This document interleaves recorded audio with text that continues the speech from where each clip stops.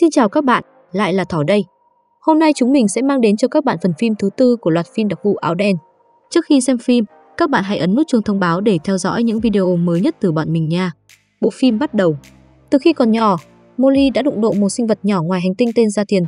Vì nó không có giấy phép thông hành nên trụ sở MIB đã cử các đặc vụ thích mặc đồ đen đến nhà Molly kiểm tra. Cô bé đã chứng kiến cảnh cha mẹ mình xóa ký ức bằng một thiết bị kỳ lạ. Thấy sinh vật kia dễ thương và không có vẻ gì nguy hiểm nên cô bé đã giúp nó lẩn trốn. Trước khi đi, Molly đã giới thiệu tên mình với nó và nó cũng nói một câu kỳ lạ.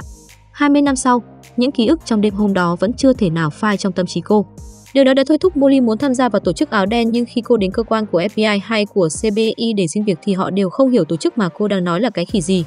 Tuy nhiên từ bỏ không có trong từ điển của Molly. Trong một lần kiểm tra các mảnh thiên thạch đang rơi xuống trái đất, cô phát hiện ra một thiên thạch có dấu hiệu của sự sống. Molly vội về nhà và hack vào hệ thống kính thiên văn học của Hubble để điều tra và thấy vật thể không xác định đó đã thay đổi quỹ đạo. Cô bắt taxi đi tới đó nhưng trước mắt cô lại là một khu phố bình thường. Chắn đạn bỏ về thì lại thấy đàn chim bồ câu có thể bay xuyên qua cánh cổng sắt. Mọi thứ ở sau bức tường vô hình ấy đã chứng minh sự việc 20 năm trước không phải là một giấc mơ đối với Molly. Sau đó cô bám theo hai đặc vụ áo đen tới trụ sở của MIB. Để vào bên trong cô đã giả dạng thành một nhân viên của tổ chức rồi hiên nga đi vào thang máy. Vừa mới nhìn thấy phòng làm việc của họ thì Molly đã bị phát hiện và đưa một mạch đến phòng thẩm vấn. Giám đốc vừa nhận thấy cô biết thiết bị xóa trí nhớ kia là gì nên tỏ ra nghi ngờ.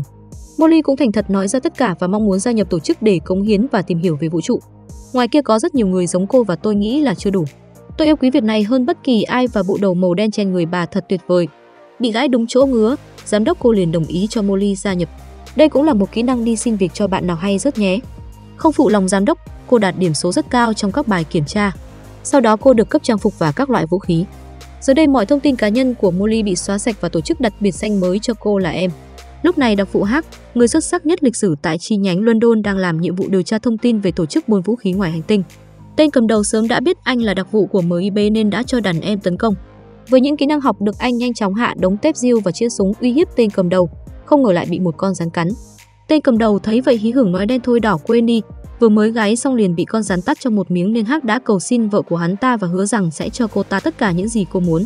Tôi không biết cô ta đã cứu ai, chỉ biết rằng sáng hôm sau Hắc đã có một đêm xúc than đầy mãnh liệt. Vì đang là đặc vụ tập sự nên cô được phái đến London để cho dồi kiến thức và kỹ năng thực chiến. Mọi thứ tại MIB như là một thế giới mới với một cô gái đầy nhiệt huyết này. Molly bước vào con tàu trông có vẻ bình thường, nhưng ngay sau đó nó biến thành một con tàu tốc hành siêu tối tân. Tới London cô được giám đốc đi chào đón.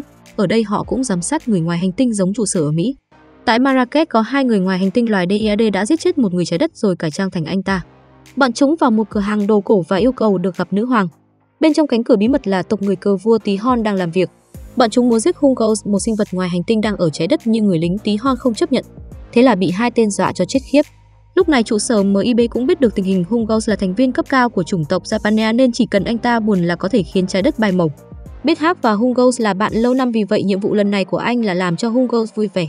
Molly nghe Hak là đặc vụ xuất sắc nhất ở đây nên tìm cách tiếp cận. Cô nói sẽ biên soạn hồ sơ về người Japania cho anh nên anh rất cảm động và muốn cô tham gia nhiệm vụ này cùng mình.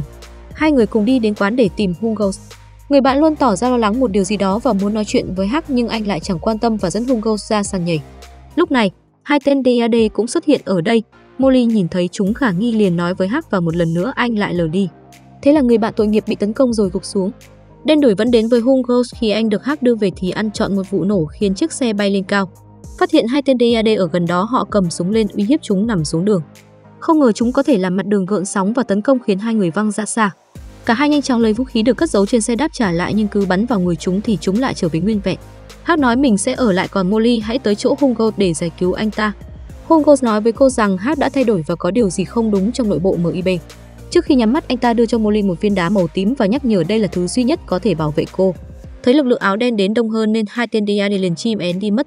Sau khi phân tích dữ liệu sinh học của bọn DAD, giám đốc thì nói rằng trên cơ thể của chúng có mã gen của D2.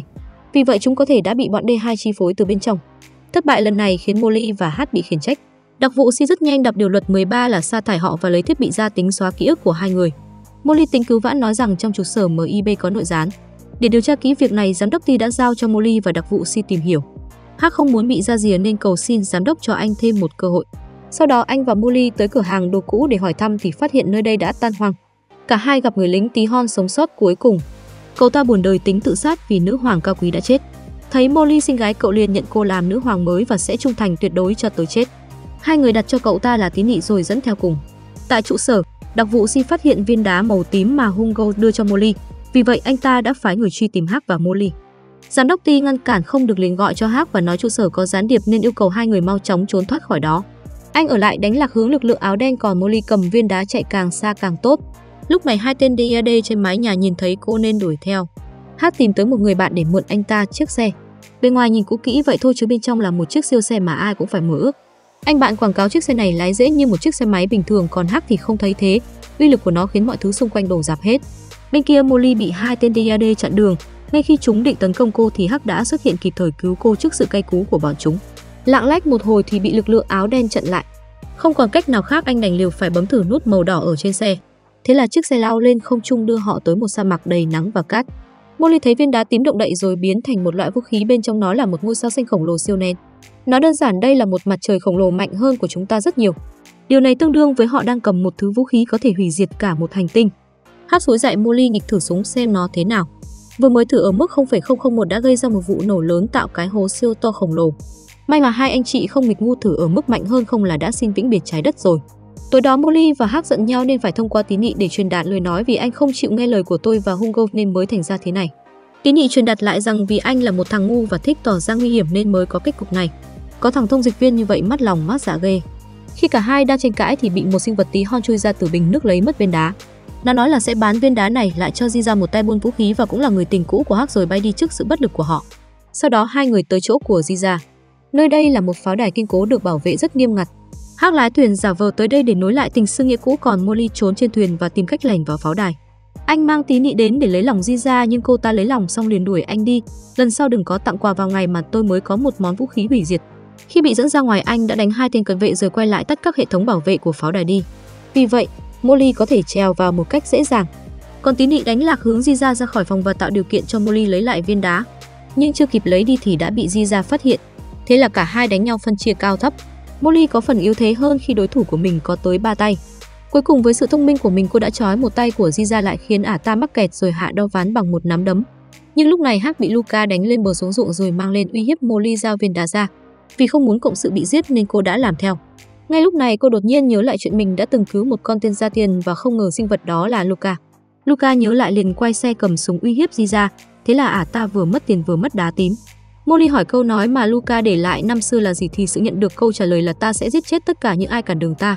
Sau khi lấy được viên đá thì hai người đi tàn bộ bên ngoài thì bất ngờ đất đá hai bên rơi xuống biển, thì ra họ bị hai tên DAD tấn công. Molly biết không đấu lại chúng nên đã mang vũ khí hủy diệt kia ra dọa. Nếu các người tiến tới cô sẽ nổ súng, cô sẽ bảo vệ trái đất này tới cùng. Hai tên kia nói chúng tôi cũng vậy nhưng vừa nói xong đã bị giám đốc đi cùng lực lượng áo đen tiêu diệt.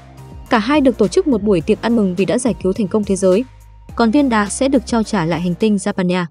Lúc này cả Molly và Hát đều cảm thấy kỳ lạ sau câu nói của hai tên DAD liền xem lại báo cáo pháp đi của chúng, nhưng tất cả đã bị xóa sạch. Đến chỗ viên đá để xem thì nó cũng không còn trong hộp nữa. Họ nhận ra chính giám đốc Ti là kẻ phản bội.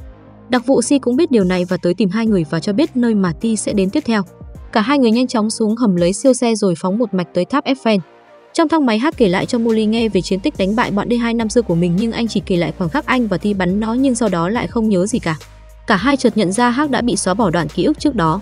Lúc này hai người vào bên trong đối đầu với Ti. Anh nói rằng chính Ti đã dụ Hugo mang viên đá tới trái đất sau đó cướp lấy nó để giao cho D2. Điều đó chỉ đúng một phần vì Ti lúc này đã biến thành D2 rồi. Ông ta rất mạnh khiến mọi nỗ lực tấn công của họ đều trở nên vô nghĩa. Lúc này Molly chạy tới lấy viên đá thì bị hất văng vào cổng không gian. May mắn cho cô là tín nghị đã xuất hiện kịp thời cứu cô khỏi cái chết. Hắc tin tưởng Ti vẫn còn chút lý trí nên đã cố gắng thức tỉnh ông ấy. Nhờ vậy mà anh có thể lấy được viên đá và ném cho Molly. Một xúc tu nối dài từ bên kia cánh cổng khiến Ti mất hoàn toàn lý trí. Vì vậy Molly đã kích hoạt vũ khí bắn bọn D2. Cuối phim nhờ thành tích cứu cả nhân loại này mà Molly trở thành đặc vụ chính thức tại New York, còn Hắc được thăng chức làm giám đốc tập sự tại chi nhánh London. Trải qua chuyện này, cả hai đã nảy sinh tình cảm với nhau nhưng do tính chất công việc nên họ buộc phải cách xa. Ranh giới giữa người hùng và tội đồ rất mong manh chỉ cần chúng ta lầm đường lạc lối là mọi nỗ lực trước đó đều đổ sông đổ bể. Bộ phim đến đây là kết thúc. Xin chào và hẹn gặp lại các bạn trong các bộ phim tiếp theo. Hey, mọi người thấy video thế nào? Hãy cho Thỏ biết ở bên dưới phần bình luận nha. Còn nếu mà mọi người thấy hay thì hãy cho Thỏ một like và một subscribe để ủng hộ kênh của chúng mình trong những video sắp tới nha. Cảm ơn mọi người.